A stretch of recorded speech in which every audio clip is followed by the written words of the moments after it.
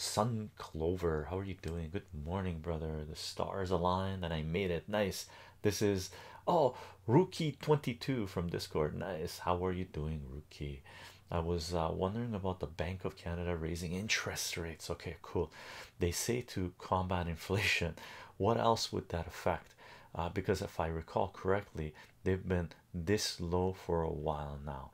Um, no, yeah, and um, Sun Clover, uh, it's gonna have interest rates control in large part centralized.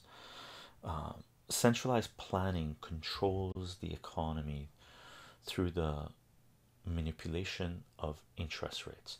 So let that sink in.